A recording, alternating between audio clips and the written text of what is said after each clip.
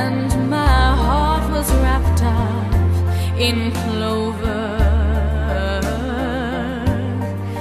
The night I looked at you,